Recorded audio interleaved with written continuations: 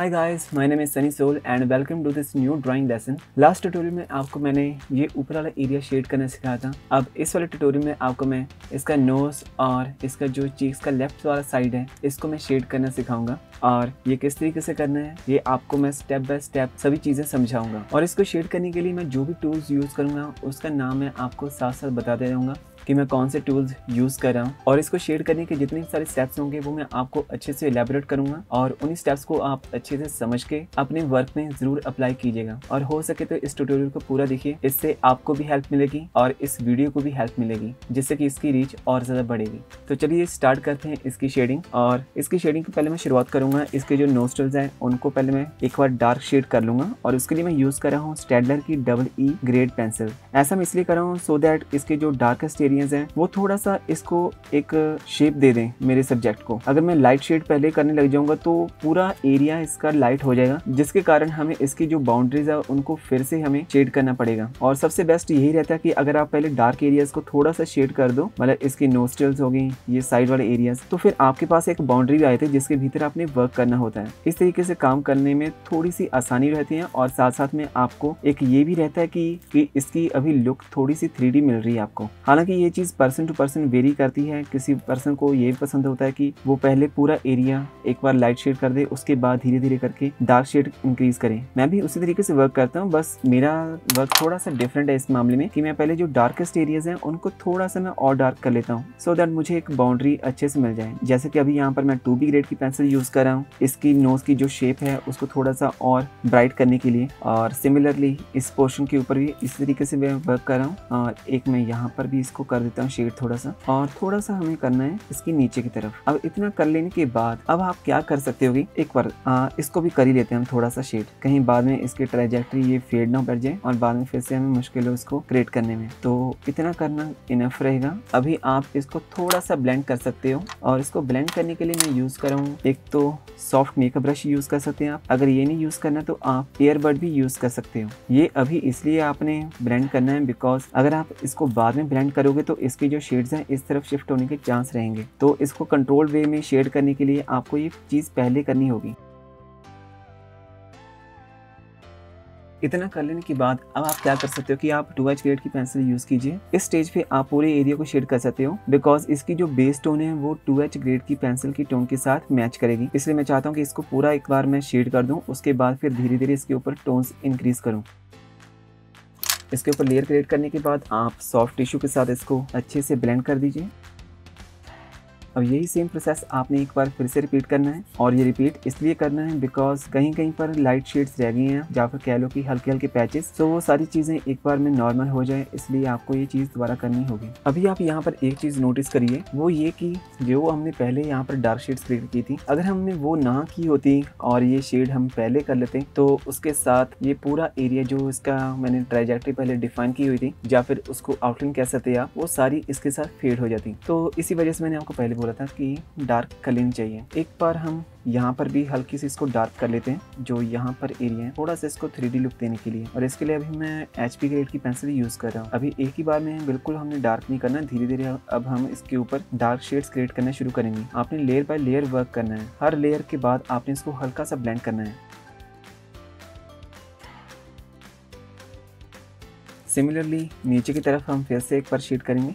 अब हमने कोशिश करनी है कि नीचे वाले जो शेड्स हैं, वो हम परफेक्टली क्रिएट कर लें। उसके लिए सबसे पहले मैं शुरुआत करूँगा एच पी की पेंसिल के साथ ही। ध्यान रखिएगा जब मैं ये ब्लू कलर की पेंसिल यूज़ करूँगा तो समझाइए कि मैं एच पी की पेंसिल यूज़ कर रहा हूँ।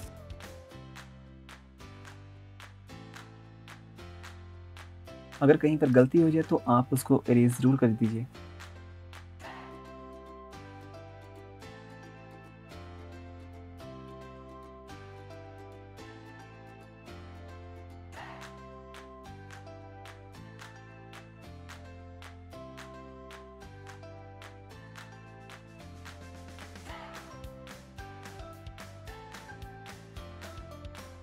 इतना शेड करने के बाद अब आप इसको फिर से एक बार ब्लेंड कर दीजिए विद ईयरबड या फिर आप मेकअप ब्रश भी यूज़ कर सकते हो। अभी आप इसके प्रोसेस को अच्छे समझिए कि मैंने काम किस तरीके से किया। अभी मैं तीसरे स्टेप के ऊपर हूँ। पहला स्टेप था मेरा इसके जो डार्केस्ट एरियाज़ हैं, उनको एक बार डिफाइन कर लेना अच्छे से। सेकंड स्टेप में मैंने इसका बेस लेयर क्रिएट किया और थर्ड स्टेप में इसके मैं डार्केस्ट एरियाज़ को क्रिएट कर रहा हूँ। अब इसके बाद मैं इसकी मिड टोन्स को क्रिएट करूँगा और फिर उसके बाद हाईलाइट्स अभी मैं यूज़ कर रहा हूँ टू बी ग्रेड पेंसिल अब इसको मैं थोड़ा सा और डार्क करूँगा। जहाँ पर मुझे थोड़ी सी और भी ज़्यादा डार्कनेस चाहिए होगी, वहाँ पर मैं फोर बी ग्रेड की पेंसिल भी यूज़ करूँगा। और फोर बी ग्रेड की पेंसिल भी इस तरह की ब्लैक कलर में ही है। आप देख के अंदाज़ा भी लगा सकते हो कि मैं अभी कौन सी पेंसिल यूज़ कर रहा हूँ।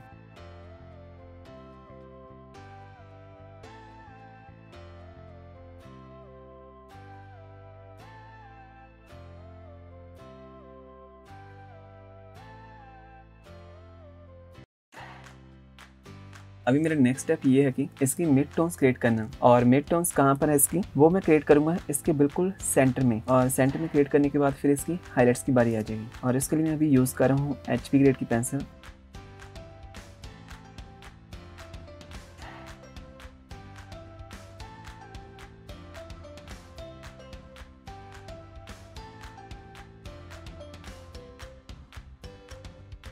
अब इसका लास्ट स्टेप ये है कि इसके ऊपर हाईलाइट्स क्रिएट करना और इसके लिए मैं यूज़ कर रहा हूँ न्यूड इरेजर तो नोट्स अच्छी से शेड हो चुका है। अब मैं सोच रहा हूँ लेफ़्ट साइड भी आपको शेड करना सिखाई देता हूँ और फिर नेक्स्ट ट्यूटोरियल में आपको मैं बाकी का एरिया शेड करना सिखा दूँगा। और इसकी शेड करने की शुरुआत हम करेंगे पहले टू एच की पेंसिल के साथ इसकी बेस लेयर क्रिएट करने से और आपने इस एरिया से लेकर इस एरिया तक ये पूरी आपने बेस लेयर क्रिएट कर देनी है with the two H pencil और आपने ध्यान रखना है कि आपने पेंसिल बिल्कुल सॉफ्टली यूज़ करना है और इसके जो स्ट्रोक्स हैं वो बिल्कुल पैरल रहने चाहिए और पेंसिल आपकी शार्प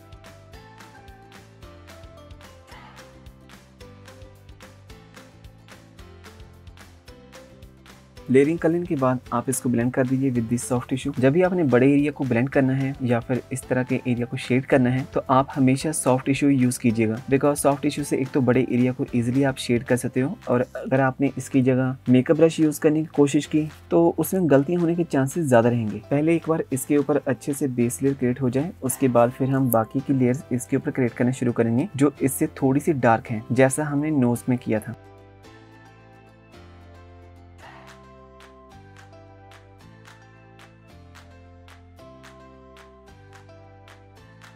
तो फ़र्स्ट बेस लेयर अच्छे से क्रिएट करने के बाद अब आप एच ग्रेड की पेंसिल यूज़ कर सकते हो। इसके ऊपर फर्दर लेयर्स क्रिएट करने के लिए जो थोड़ी सी डार्क है, इसके कंपैरिजन और एक तो लेयर हम यहाँ पर क्रिएट करेंगे। सेकेंडली इस एरिया में। थर्ड इस एरिया में। फोर्थ इसकी चीक की साइड्स में। और फिफ्थ थोड़ा सा यहाँ पर। तो इन एरियाज़ के ऊपर हम मतलब कहने की बात है कि सेंटर वाला एरिया छोड़कर बाकी सभी जगह आपने ये लेयर क्रिएट करनी है। और अगर ज़रूरत पड़ेगी तो बीच पे मैं टू बी ग्रेड की पेंसिल भी यूज़ करूँगा इस एरिया में। बट जब भी आपने लेयरिंग करनी है तो शुरुआत आपने हमेशा लाइट स्टोन से करनी है, जैसे मैंने पहले की। पहले टू एच यूज़ की मैंने, उसके बाद अभी एच बी यूज़ कर रहा हूँ। बाद में शायद मैं टू बी ग्रेड पेंसिल भी यूज़ करूँगा।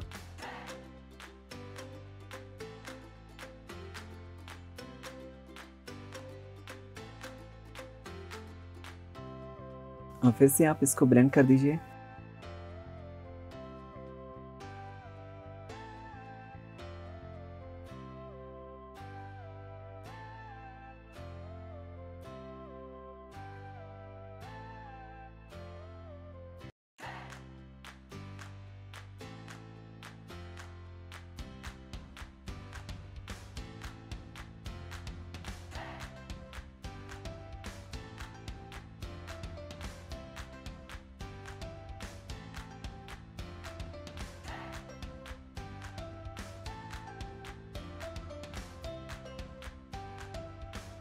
तो हमारे सब्जेक्ट की लेफ़्ट साइड भी अच्छे से शेड हो चुकी है एंड आई होप कि जो भी कुछ मैंने आपको इस ट्यूटोरियल में सिखाया, आपको अच्छे समझ में आ गया हो। आपने जो कुछ भी इसमें स्टेप्स वगैरह सीखे हैं, उनको आप अपने वर्क में अप्लाई करने की पूरी कोशिश कीजिएगा। और अगर कोई कन्फ्यूज़न है या फिर कोई सुझाव है तो आप प्लीज़ कमेंट कर दीजिए। और आपको ये ट्यूटोरियल कैसा लगा please let me know in the comments इसका बाकी का जो एरिया रह गया है शेड करने वाला, इसके लिप्स और ये स्किन वाला एरिया ये आपको मैं नेक्स्ट ट्यूटोरियल में सिखाऊँगा। अगर आपकी इस ट्यूटोरियल से थोड़ी सी भी हेल्प हुई है, और आपको लगता है किसी और की भी हेल्प हो सकती है प्लीज़ प्लीज़ ये वीडियो उनके साथ भी शेयर कीजिएगा और इस वीडियो को लाइक, कमेंट एंड चैनल को ज़रूर सब्सक्राइब कर लीजिए बिकॉज़ इस चैनल पे और भी बहुत सारे ट्यूटोरियल्स आने वाले हैं। तो thank you so much for watching I will meet you in the next video अगर आपको मेरे बनाए गए ट्यूटोरियल पसंद आ रहे हैं और आप इससे भी ज़्यादा डिटेल और डेप्थ में सीखना चाहते हैं, हर एक स्टेप को बारीकी से समझते हुए और आपका ड्रीम है कि आप इस लेवल तक की ड्राइंग बनाना सीखो तो मेरा ट्रू रियलिज्म वाला कोर्स ज़रूर चेकआउट कीजिएगा। उसका लिंक आपको डिस्क्रिप्शन में मिल जाएगा।